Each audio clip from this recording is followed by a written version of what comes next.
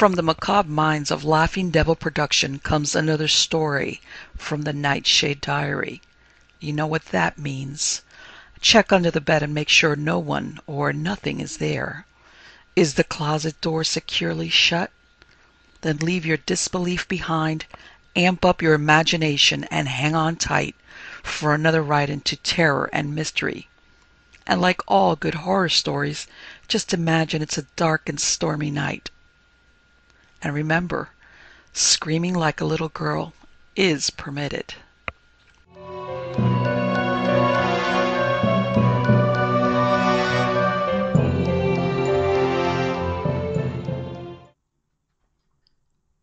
Fearful Rock by Manly Wade Wellman, Part 2. The story thus far. The year is 1862, the place the Missouri Arkansas border. Enid Mandifer is sent, cowed and semi hypnotized, as a sacrifice to the Nameless One, worshipped by her stepfather, Persil Mandifer. This mysterious deity or demon haunts an ancient house under the shadow of a natural pillar called Fearful Rock. She encounters Lieutenant Kane Lanark, scouting with a patrol of Union cavalry for Quantrill's southern guerrillas. He brings her to the house where his men have camped and is puzzled and repelled when she tells what she knows of her stepfather's strange worship. In the cellar a horned image is discovered. Sergeant Jaeger, a semi fanatic, smashes it as diabolical. In the central hall of the image Lanark finds a strange casket, which he cannot open. He hides it temporarily in a brick oven in the kitchen. Persil Mandifer and his son LaRue appear and protest the presence of the Union soldiers. When they find out that Enid Mandifer had not gone through with the sacrifice of herself, they become violently abusive. LaRue is shot down by Jaeger. At this moment the guerrillas charge the house. In the midst of a hand to hand battle, the house bursts into blue flame. Terrified, the guerrillas flee, having killed Persil Mandifer and several others. When the dead are put in a common grave, the bodies of the two Mandifers are missing. Six dead guerrillas are interred together. Lanark, shaken by the mystery, bids farewell to Enid, promising to return when the war is over. The story continues. Number 6. The Return.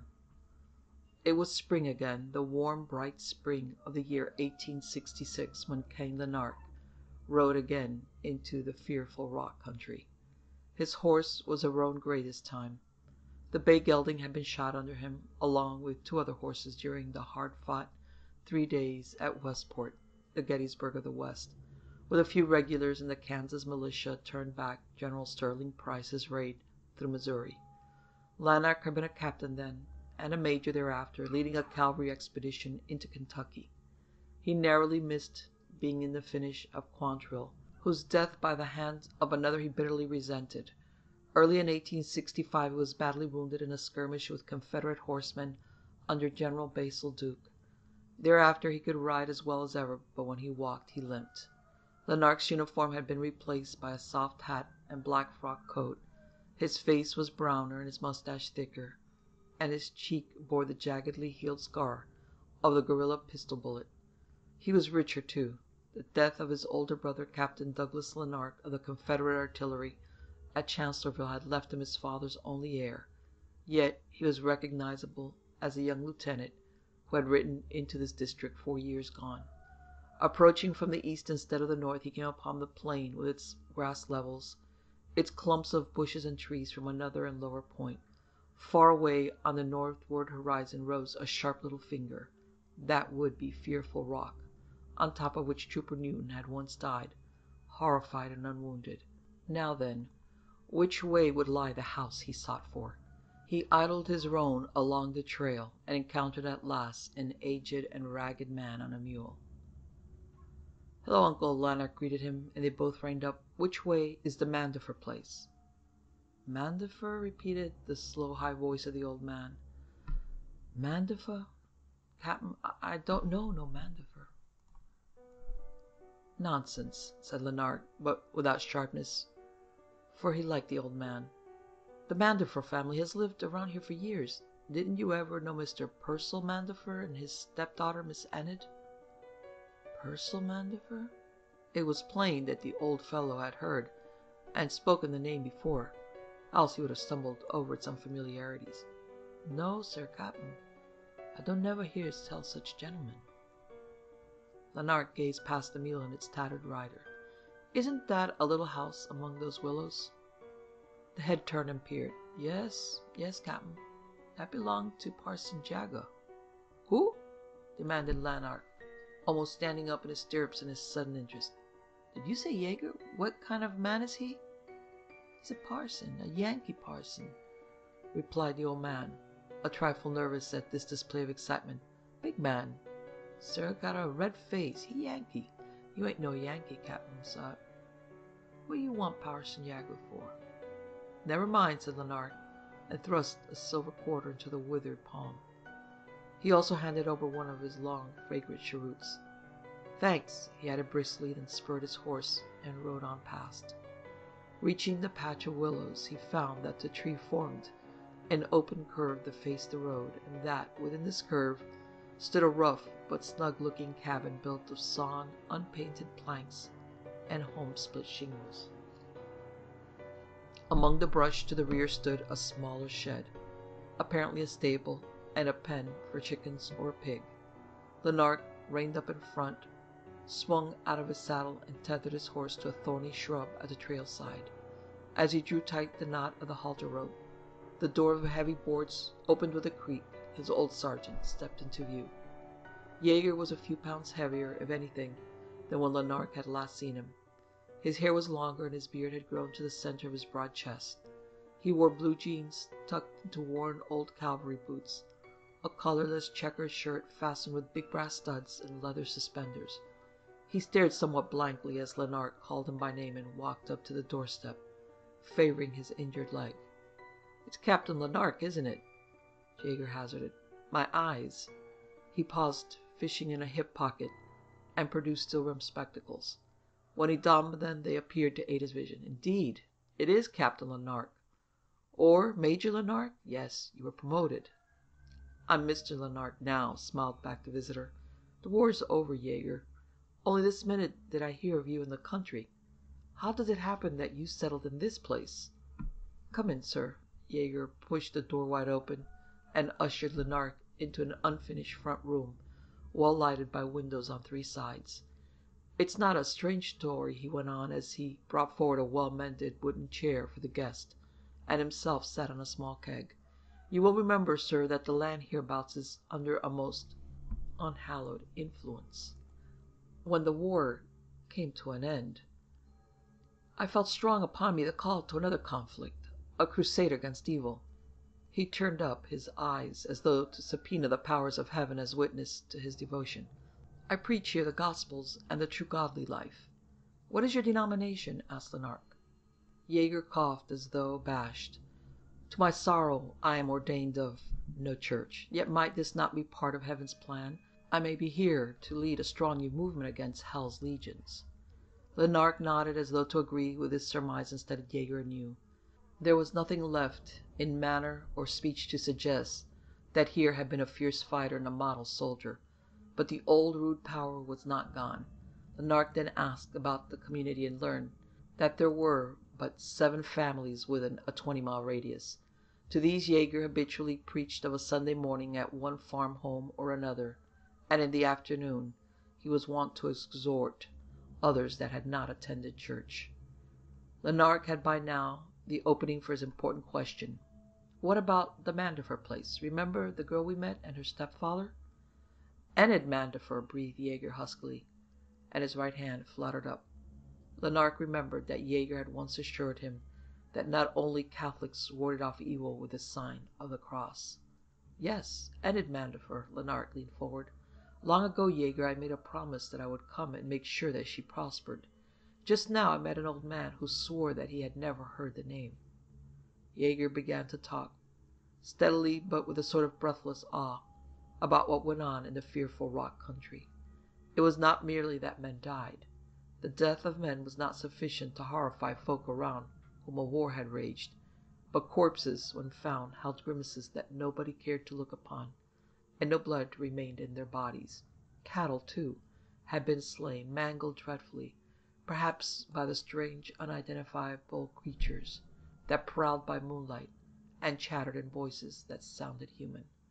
One farmer of the vicinity who had ridden with Quantrill had twice met strollers after dusk, and had recognized them for comrades whom he knew to be dead.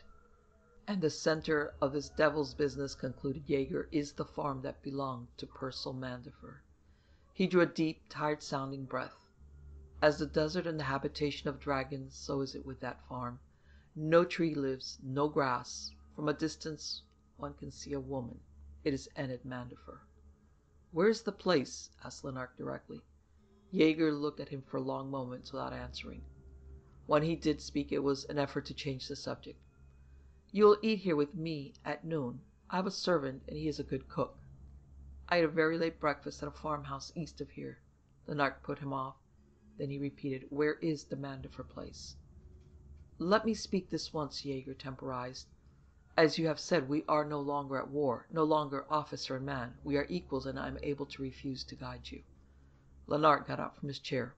"That is true, but you will not be acting the part of a friend." "I will tell you the way, on one condition." Jaeger's eyes and voice pleaded. "Say that you will return to this house for supper and a bed, and that you will be within my door by sundown." "All right," said Lanark. "I agree. Now, which way does that farm lie?" Jaeger led him to the door. He pointed.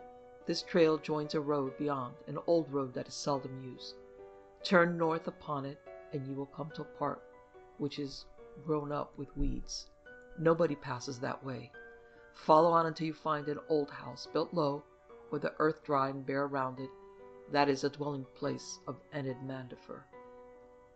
Lanark found himself biting his lip. He started to step across the threshold, but Jaeger put a detaining hand on his arm. "Carry this as you go."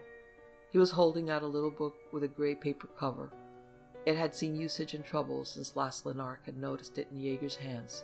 Its back was mended with a pasted strip of dark cloth, and its edges were frayed and gnawed, looking as though rats had been at it. But the front cover still said plainly, "John George Hohman's Powwows or Long Lost Friend." "Carry this," said Jaeger again, and then quoted glibly, "Whoever carries this book with him is safe from all his enemies, visible or invisible, and whoever has this book with him cannot die without the holy corpse of Jesus Christ, nor drown in any water, nor burn up in any fire nor can any unjust sentence be passed upon him.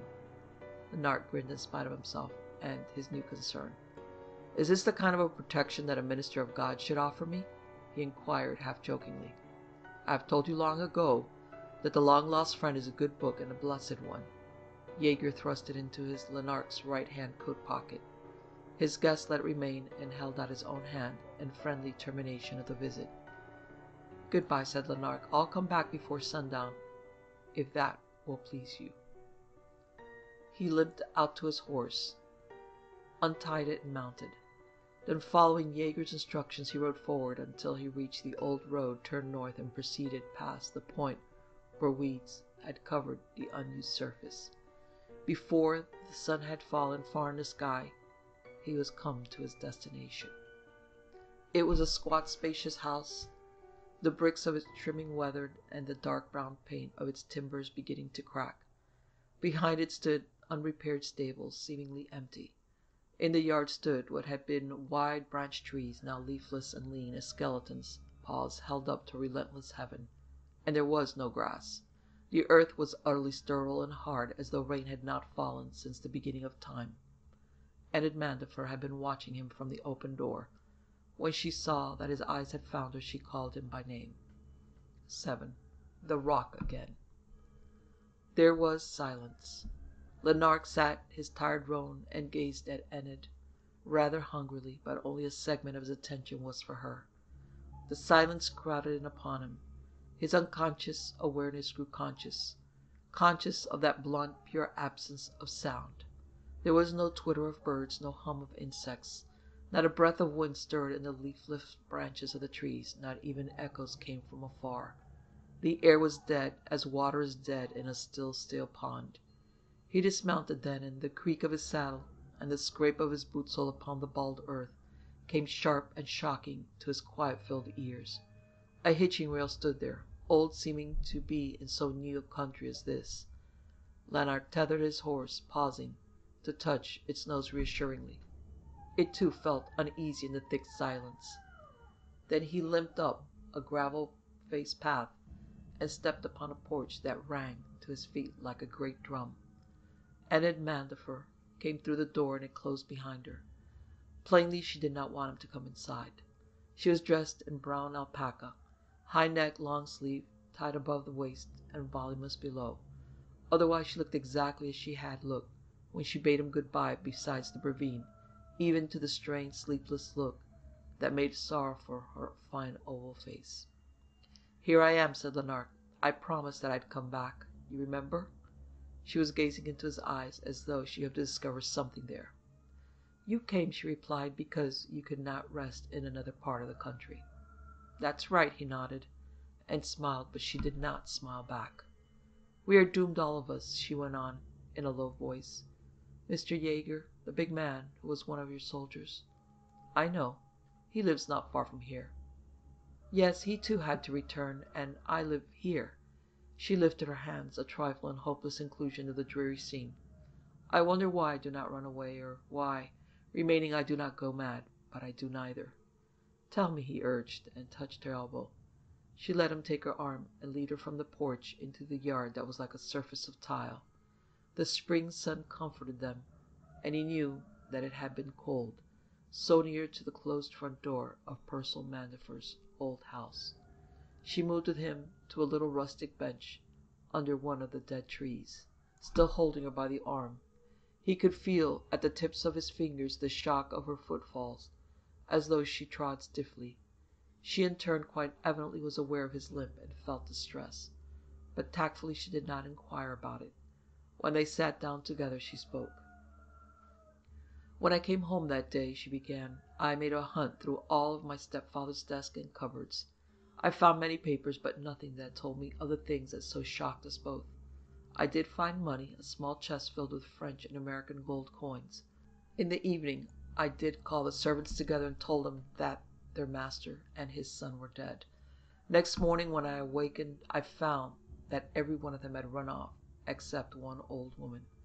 She, nearly a hundred years old and very feeble, told me that fear had come to them in the night, and that they had run like rabbits. With them had gone the horses and all but one cow. "They deserted you!" cried Lanark hotly. If they truly felt the fear that came here to make its dwelling place, Enid Mandifer smiled sadly as if in forgiveness of the fugitives. But to resume, the old auntie and I made out here somehow. The war went on, but it seemed far away, and indeed it was far away. We watched the grass die before June, the leaves fall, the beauty of this place vanish. I'm wondering about that death of grass and leaves, put in Lanark. You connect it somehow with the unholiness at Fearful Rock, yet things grow there. Nobody is being punished there she reminded Cecily. Well, we had the chickens and the cow, but no crops would grow. If they had, we needed hands to farm them. Last winter, Auntie died too. I buried her myself in the backyard. With nobody to help you? I found out that nobody cared or dared to help. Enid said that very slowly and did not elaborate. One old man who lives down the road a mile had some mercy. When I needed anything, I carry one of my gold pieces to him. He buys for me, and a day or two I seek him out and get whatever it is. He keeps the change for his trouble. Lanark, who had thought it cold upon the porch of the house, now mopped his brow as though it were day in August. You must leave here, he said.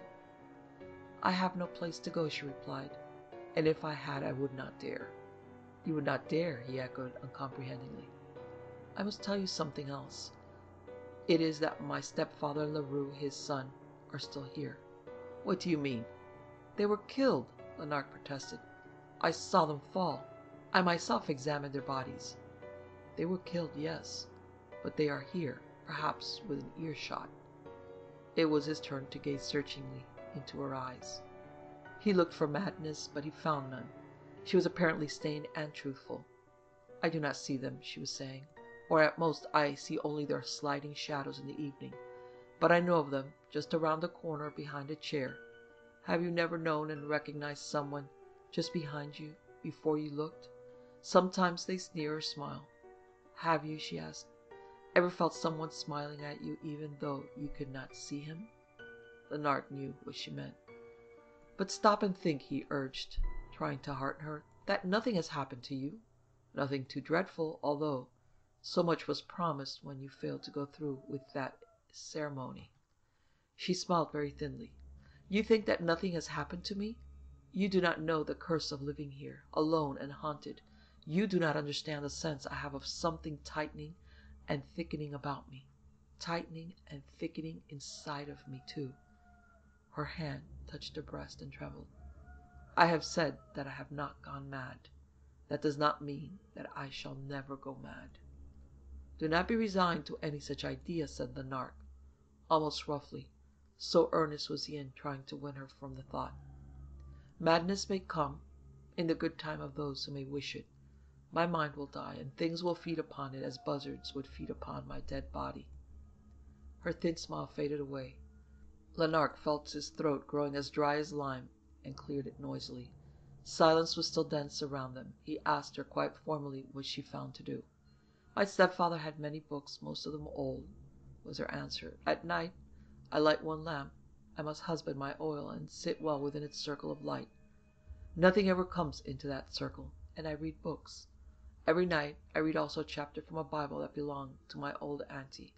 When I sleep, I hold the Bible against my heart. He rose nervously, and she rose with him. Must you go so soon? she asked, like a courteous hostess. Lanark bit his mustache. Enid Mandifer, come out of here with me. I can't. You can. You shall. My horse will carry both of us. She shook her head, and the smile was back, sad and tender this time. Perhaps you cannot understand, and I know that I cannot tell you. But if I stay here, the evil stays here with me. If I go, it will follow and infect the world. Go away alone. She meant it, and he did not know what to say or do. I shall go, he agreed finally, with an air of bafflement, but I shall be back. Suddenly he kissed her. Then he turned and limped rapidly away, raging at the feeling of defeat that had him by the back of the neck. Then, as he reached his horse, he found himself glad to be leaving the spot, even though Enid Mandifer remained behind alone. He cursed with a vehemence that made the roan flinch, untied the halter, and mounted. Away he rode to the magnified clatter of hoofs. He looked back, not once but several times. Each time he saw Enid Mandifer, smaller and smaller, standing beside the bench under the naked tree. She was gazing not along the road after him, but at the spot where he had mounted his horse.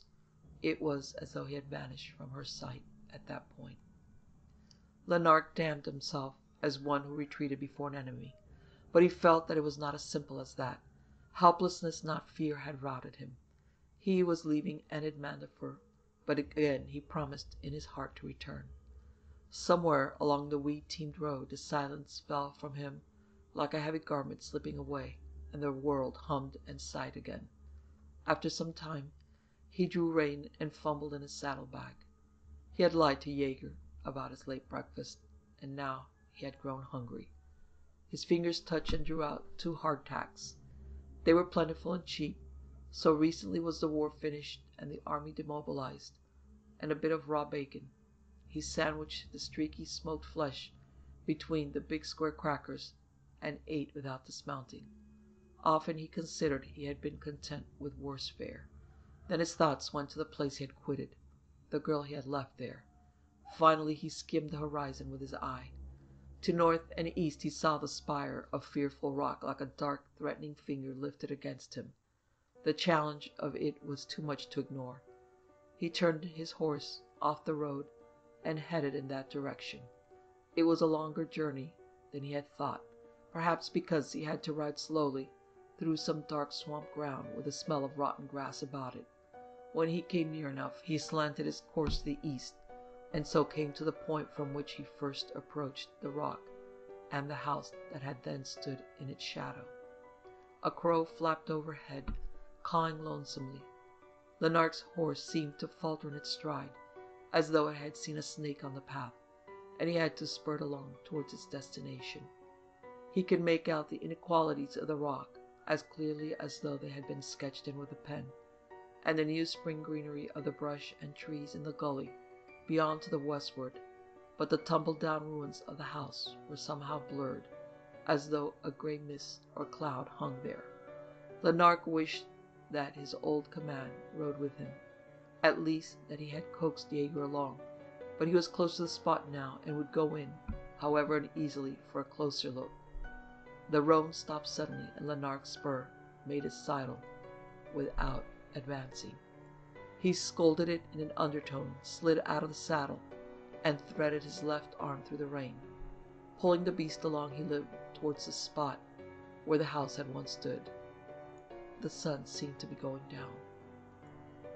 8. The Grapple by the Grave. Lanark stumped for a furlong or more to the yard of the old house, and the horse followed unwillingly. So unwillingly that had there been a tree or stump at hand, Lanark would have tethered and left it. When he paused at last under the lee of the great natural obelisk that was Fearful Rock, the twilight was upon him. Yet he could see pretty plainly the collapsed, blackened ruins of the dwelling that four years gone had burned before his eyes in devil blue flame. He came close to the brink of the foundation hollow and gazed narrowly into it. Part of the chimney still stood, broken off at about a level with the surface of the ground, the rubbish that had been its upper part lying in jagged heaps about its base. Chills seemed to rise from that little depression, something like the chill he had guessed at rather than felt when he had faced Enid Mandifer upon her porch. The chill came slowly, almost stealthily, about his legs and thighs, creeping snake-like under his clothing to tingle the skin upon his belly. He shuddered despite himself, and the roan nuzzled his shoulder in sympathy. Lanark lifted a hand and stroked the beast's cheek, then moved back from where the house had stood. He gazed westward in the direction of the gully. There, midway between the foundation hollow and the natural one, was a much smaller opening in the earth, a pit filled with shadow. He remembered ordering a grave dug there, a grave for twelve men. Well, it seemed to be open now, or partially open. He plodded toward it, reached it, and gazed down in the fading light. He judged that the dead of his own command still lay where their comrades had put them, in a close row of six toward the east. It was the westward end of the trench that had been dug up, the place where the guerrillas had been laid. Perhaps the burial had been spied upon, and the Southerners had returned to recover their fallen friends. Yet there was something below there, something pallid and flabby looking. Lanark had come to make sure of things, and he stooped, then climbed down, favoring his old wound. It was darker in the ditch than above, yet he judged by the looseness of earth under his feet that in one spot, at least, there had been fresh digging, or perhaps some other person walking and examining and the pallid patch was in reality two pallid patches, like discarded cloaks or jackets. Still holding the end of his horse's bridle, he put down his free hand to investigate. Human hair tickled his fingers, and he snatched them back with an exclamation. Then he dug in his pocket, brought out a match, and snapped it aglow on the edge of his thumbnail. He gazed downward for a full second before he dropped the light. It went out before it touched the bottom of the hole, but Lanark had seen enough. Two human skins lay there, white, empty human skins. The legs of them sprawled like discarded court stockings, the hands of them like forgotten gauntlets, and tousled hair covered the collapsed heads of them. He felt light-headed and sick. Frantically he struggled up out of that grave, and barely had he come to his knees on the ground above, when his horse snorted and jerked its bridle free from his grasp. Lanark sprang up, tingling all over. Across the trench, black and broad, stood a human, or semi-human, figure. Lanark felt a certain draining cold at cheek and brow, yet his voice was steady as he spoke challengingly. "What do you want?" The creature opposite stooped, then bent its thick legs. It was going to jump across the ditch. Lanark took a quick backward step toward his horse. An old Colt's revolver was tucked into his right saddlebag. But the sudden move on his part was too much for the jangled nerves of the beast. It whickered, squealed, and jerked around. A moment later bolted away toward the east. At the same time the form on the other side of the open grave lunged forward, cleared a space, and came at Lanark. But it was attacking one who had been in close fights before, and emerged the victor. Lanark, though partially a cripple, had lost nothing of a cavalryman's toughness and resolution. He sprang backwards, and let his assailant's charge slow before it reached him, then lashed out with his left fist. His gloved knuckles touched soft flesh at what seemed to be the side of the face, flesh that gave under them. Lanark brought over his right hand, missed with it, and fell violently against the body of the other. For a moment he smelled corruption, and then found his feet and retreated again. The black shape drew itself stoopingly down as though to muster and concentrate its volume of vigor, launched itself at Lanark's legs. With two arms extended, the veteran tried to dodge again, this time sidewise, but his lameness made him slow. Hands reached and fastened upon him, one clutching his thigh, the other clawing at the left-hand pocket of his coat. But in the moment of capture, the foul-smelling thing seemed to shudder and snatch itself away, as though the touch of Lanark had burnt it. A moaning came from somewhere in its direction. The crouched body straightened, the arms lifted in cringing protection of the face. Lanark, mystified but desperately glad himself, advanced to the attack. As he came close, he threw his weight. It bowled the other backward and over, and he felt hard upon it. His own hands, sinewy and sure, groped quickly upon dank, sticky-seeming garments found a rumpled collar, and then a throat. That throat appeared to be muddy, or at any rate slippery and foul. With an effort, Lanark sank his fingertips into it, throttling grimly, and with honest intention to kill. There was no resistance, only a quivering of the body under his knee. The arms that screened the face fell quiveringly away to either side. At that moment a bright moon shimmered from behind a passing veil of cloud. Lanark gazed down into the face of his enemy. A puffy, livid, filth-clotted face, but he knew it. Those spiked mustaches, those bulging eyes, the shape, contour, and complexion. "You're one of Quantrill's," accused Lanark between clenched teeth. Then his voice blocked itself, and his hands jerked away from their stranglehold. His mouth gaped open. "I killed you once!" he cried. Between him and the body he had pinned down there drifted a wild whirl of vision. He saw again the fight in the blue fire glow, the assailant who spurred against him, the flash of his own revolver, the limp collapse of the other. He saw, too, the burial next morning, blue-coated troopers shoveling loam down upon a silent row of figures. In ear-clods hid it, a face peeping through, a disarranged blanket, a face with staring eyes and mustaches like twin knife points. Then his eyes were clear again, and he was on his feet and running. His stiff leg gave him pain, but he slackened speed no whit. Once he looked back. A strange blueness, like a dim reflection of the fire long ago, hung around the base of Fearful Rock. In the midst of it, he saw not one but several figures. They were not moving, not walking anyway, but he could swear that they gazed after him. Something tripped him, a root or a fallen branch. He rose neither quickly nor confidently, aching in all his limbs.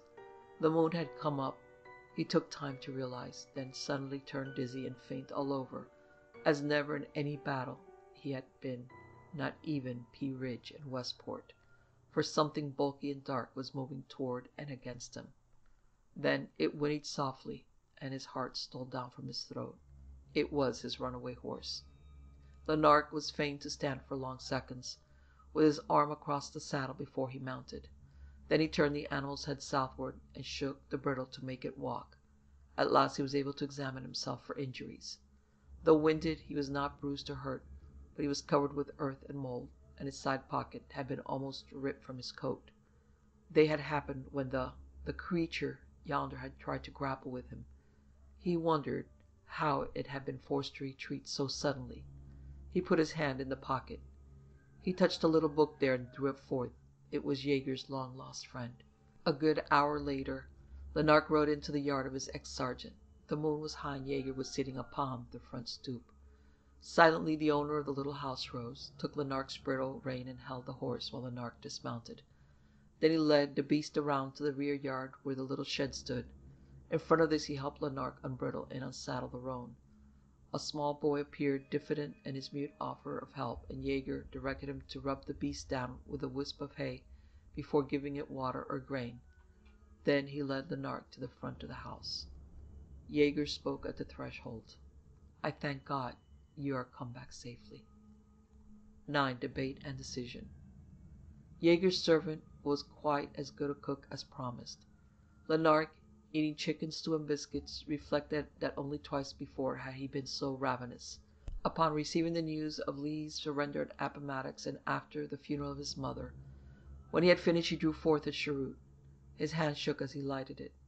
Jaeger gave him one of the old looks of respectful disapproval, but did not comment. Instead, he led Lanark to the most comfortable chair in the parlor and seated himself upon the keg. Then he said, "Tell me." Lanark told him, rather less coherently than he had set down, the adventures of the evening. Again and again he groped in his mind for explanations, but not once found any to offer. "It is fit for the devil," pronounced Jaeger, when his old commander had finished. "Did I not say that you should have stayed away from that woman? You're well out of the business." "I'm well into it, you mean," Lanark fairly snapped back. "What can you think of me, Jaeger, when you suggest that I might let things stand as they are?" The frontier preacher massaged his shaggy jowl with thoughtful knuckles. "You have been a man of war and an officer of death," he said heavily. "God taught your hands to fight, yet your enemies are not those who perish by the sword." He held out his hand. "You say you still have the book I lent you?" From his torn pocket Lanark drew Hohman's long lost friend. Jaeger took it and stared at the cover. "The marks of fingers," he muttered, in something like awe. He examined the smudges closely, putting on his spectacles to do so then lifted the book to his nose. His nostrils wrinkled, as if in distaste, and he passed the thing back. "Smell it," he directed. Lanark did so. About the slimy looking print on the cover hung a sickening odor of decayed flesh. "The demon that attacked you, that touched this book, died long ago," went on Jaeger. "You know as much. You killed him with your own hand, yet he fights you this very night." "Maybe you have a suggestion?" Lanark flung out, impatient at the assured and almost snobbish air of mystery that colored the manner of his old comrade in arms. "If this is a piece of hell broke loose, perhaps you did the breaking. Remember that image, that idol thing with horns, that you smashed in the cellar? You probably freed all the evil upon the world when you did that." Jaeger frowned, but pursued his lecture. "This very book, this long lost friend, saved you from the demon's clutch," he said. "It is a notable talisman and shield. But with a shield one must have a sword with which to attack in turn." "All right," challenged Lanark. "What is your sword?" "It is a product of a mighty pen," Jaeger informed him sententiously. He turned in his seat and drew from a box against the wall a book. Like the long lost friend, it was bound in paper, but of a cream color. Its title stood forth in bold black letters: "The Secrets of Albertus Magnus." "A translation from the German and the Latin," explained Jaeger printed, I think, in New York. This book is full of wisdom, although I wonder if it is evil, unlawful wisdom. I don't care if it is, Lanark almost snatched the book. Any weapon must be used, and I doubt if Albertus Magnus was evil. Wasn't he a churchman, and didn't he teach St. Thomas Aquinas? He leafed through the beginning of the book. Here's a charm, Jaeger, to be spoken in the name of God. That doesn't sound unholy. Satan can recite scripture to his own ends, misquoted Jaeger. I don't remember who said that, but Shakespeare said it, or something very like it, Lanark informed him. Look here, Jaeger, farther on. Here's a spell against witchcraft and evil spirits. I've counted at least thirty such in that book, responded the other. Are you coming to believe in them, sir? Lanark looked up from the page. His face was earnest and in a way humble. I am constrained to believe in many unbelievable things. My experience tonight truly befell me that I must believe in charms of safety. Supernatural evil like that must have its contrary supernatural good. Jaeger pushed his spectacles up on his forehead and smiled in his beard. I've heard it told, he said, that charms and spells work only when one believes in them. You sound confident of that, at least, Lanark smiled back. Maybe you will help me after all? Maybe I will. The two gazed into each other's eyes, and then their hands came out at the same moment. Lanark's lean fingers crushed Jaeger's coarser ones. "Let's be gone," urged Lanark at once, but the preacher shook his head emphatically. "Slowly, slowly," he temporized. "Cool your spirit and take counsel. He that ruleth the temper is greater than that taketh the city." Once more he put out his hand for the cream-colored volume of Albertus Magnus and began to search through it. "Do you think to comfort me from that book?" asked Lanark. "It has more than comfort," Jaeger assured him. "It has guidance." He found what he was looking for, pulled down his spectacles again, and read aloud. Two wicked eyes have overshadowed me, but three other eyes are overshadowing me. The one of God the Father, the second of God the Son, the third of God the Holy Spirit. They watch my body and soul, my blood and bone. I shall be protected in the name of God. His voice was that of a prayerful man reading scripture, and Lanark felt moved despite himself. Jaeger closed the book gently and kept it in his hand. Albertus Magnus has many such charms and assurances, he volunteered. In this small book, less than two hundred pages, I find a score and more of ways for punishing and thwarting evil spirits, or those who summon evil spirits. He shook his head as if in sudden wrath, and turned up his spectacled eyes. "O Lord," he muttered, "how long must devils plague us for our sins?" Growing calmer once more, he read again from the book of Albertus Magnus.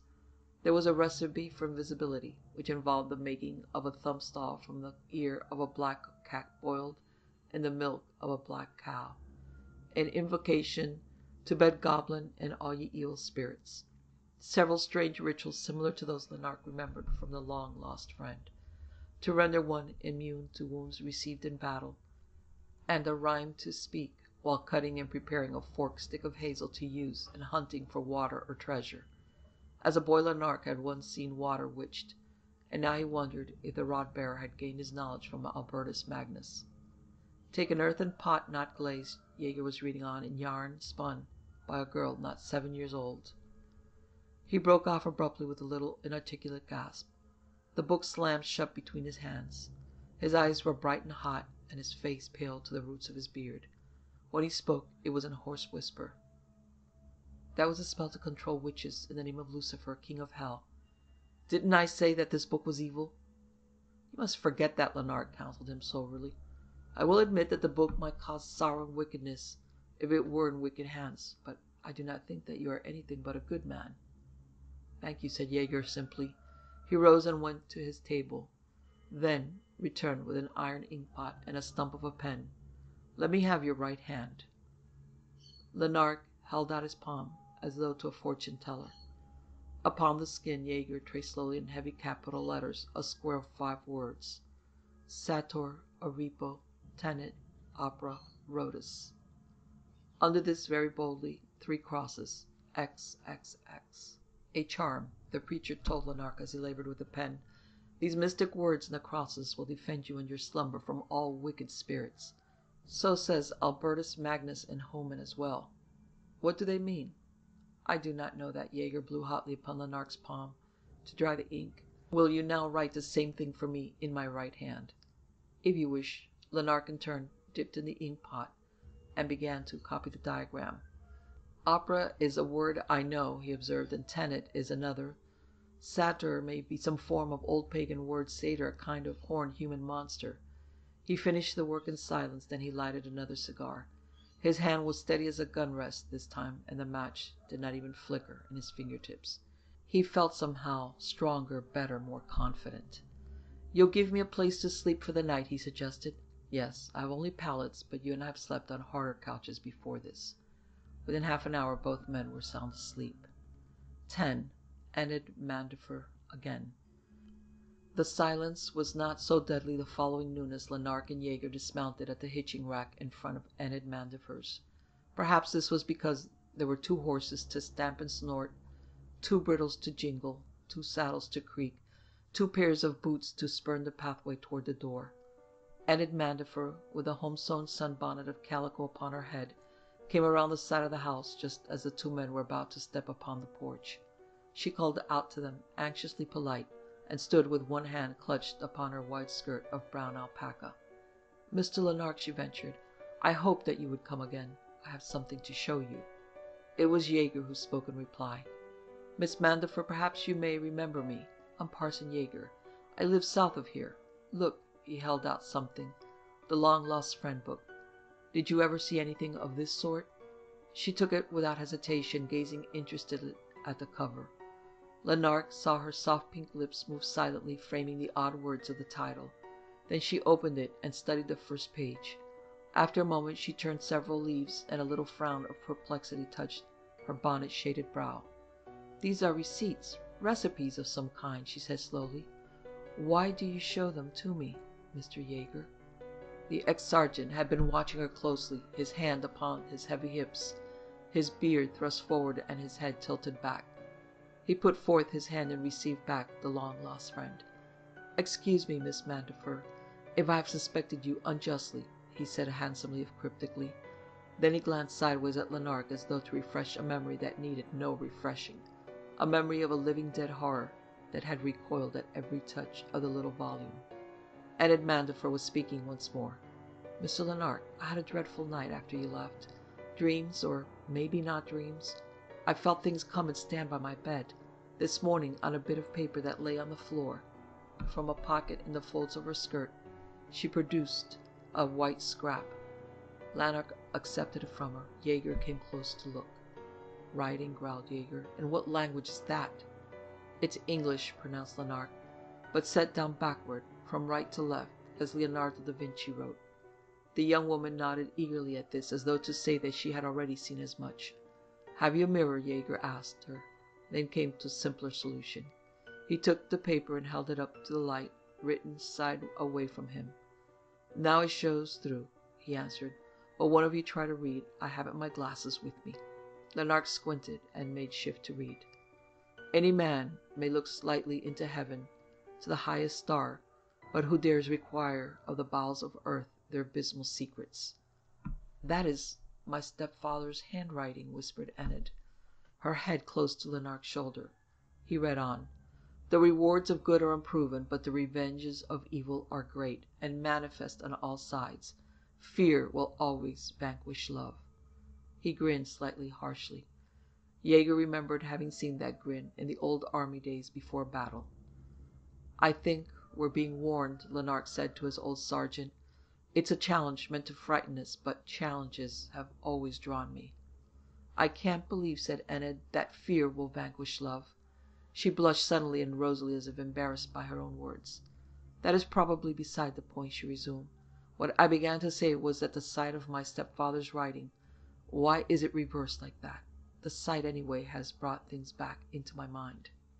What things? Jaeger demanded eagerly. Come into the house, Miss Mandifer, and tell us. Oh, not into the house, she demurred at once. It's dark in there, damp and cold. Let's go out here, to the seat under the tree. She conducted them to the bench where the Lanark had accompanied her the day before. Now, Jaeger prompted her, and she began. I remember hearing him when I was a child as he talked to his son Leroux, and they thought I did not listen or did not comprehend. He told of these very things, these views he had written. He said, as if teaching Leroux, fear stronger than love, where love can but plead, fear can command. A devil's doctrine, grunted Jaeger, and Lanark nodded agreement. He said more, when on Enid. He spoke of those below, and of how they rule by fear, and therefore are stronger than those on high who rule by weak love. Blasphemy, commented Jaeger in his beard. Those statements fit what I remember of his talk, Lanark put in.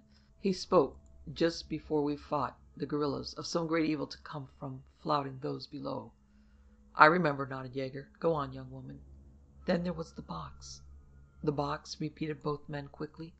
Yes, it was a small case of dark grey metal or stone, or something this, too, was when I was little. He offered it to Larue and laughed when Larue could not open it. Jaeger and Lanark darted looks at each other. They were remembering such a box.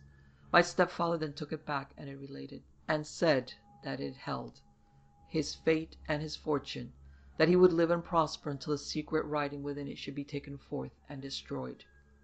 I remember where that box is, Lanark said breathlessly to Jaeger. In the old oven at... We could not open it either, interrupted the preacher. He spoke of that too, and had told him.